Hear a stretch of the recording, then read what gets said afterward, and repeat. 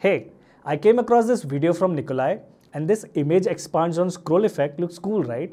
So I went on and tried to make something that looks similar. But instead of images, I wanted to use videos. And I made this. So when I scroll on my page, this video plays and the expand on scroll effect looks really nice. Also, when I scroll back up, the video shrinks back to this.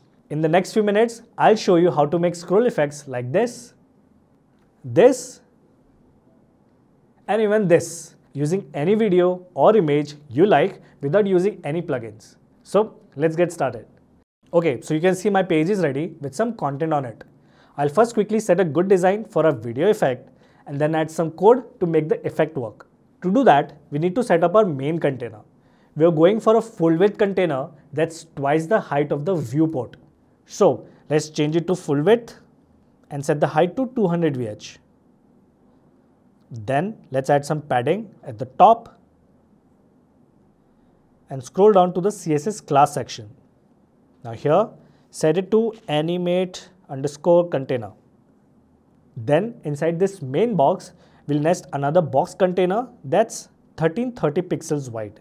This will help keep our content centered on wider screens. Now let's add some content.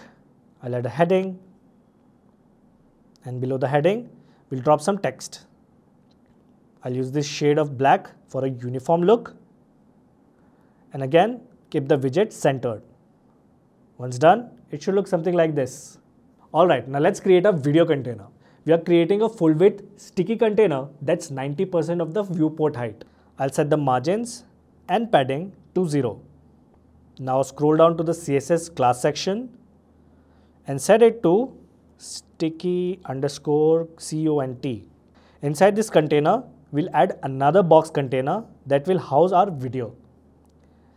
Make it 600 by 600 pixels to start, then both justify and align it to the center.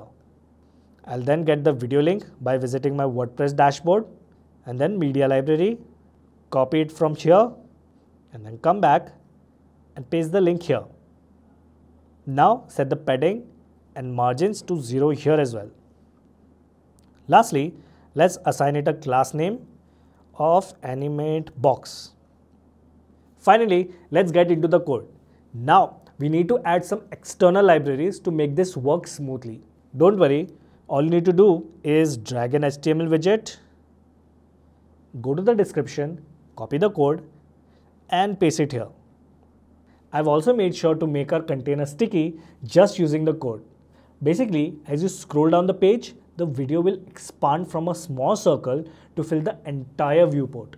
It's a smooth transition that adds a ton of visual interest to your page. Just make sure to align this parent container to the center or the video will be on the left side.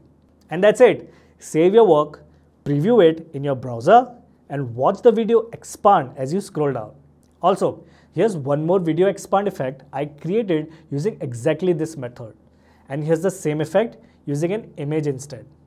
So give it a shot. If you run into any issues, drop a comment below and we'll get back. In this 3 minute video, I'll show you a free plugin to triple your site speed. You're really gonna thank me for this, so click here and I'll see you there.